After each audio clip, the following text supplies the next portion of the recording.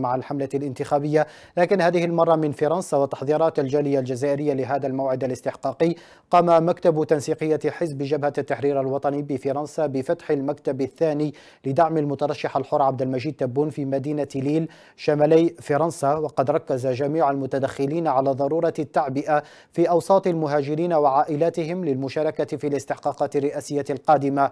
وفيما يلي بعض أصوات أفراد الجالية رصدها لنا مراسل الوطنية محمد الزاوي اليوم كنا فتحنا مكتب permanence مندوبيه للانتخابات تاع رئيسنا جاء عبد المجيد تبون.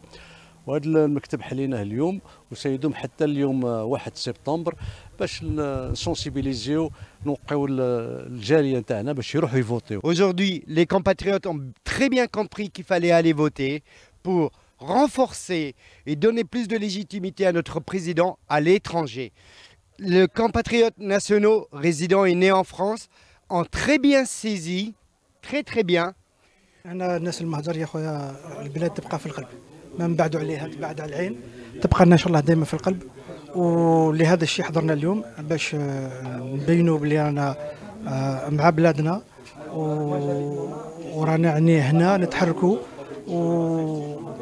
باش نعلوا راية الجزائر. نديروا هاد la campagne باش on va réélire ان شاء الله ال président تاعنا مسيو عبد المجيد تبون على على زوج صوالح عندنا جوج صوالح ملاح كاين الناس اللي غالب ما كانش عندهم les billets familiales les voyages هذه مليحه وباش نزيدوا في الخدمه تاع الجزائر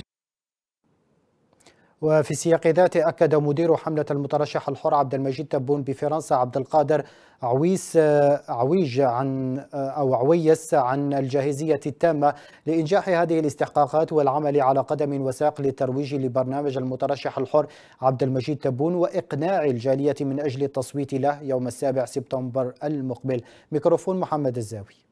والحمد لله الأمور تمشي على حسام ورام. ورانا في هذا الأسبوع الثاني رانا في كل نشاط وحيوية ورانا قايمين بكل الواجب ورانا في كل دشرة في كل في كل حتى في كل الاسواق رانا في المقاهي باش نقنعوا الجالية الجزائرية باش تروح تنتخب بقوة تنتخب لصالح المرشح الجزائر السيد عبد المجيد تبون.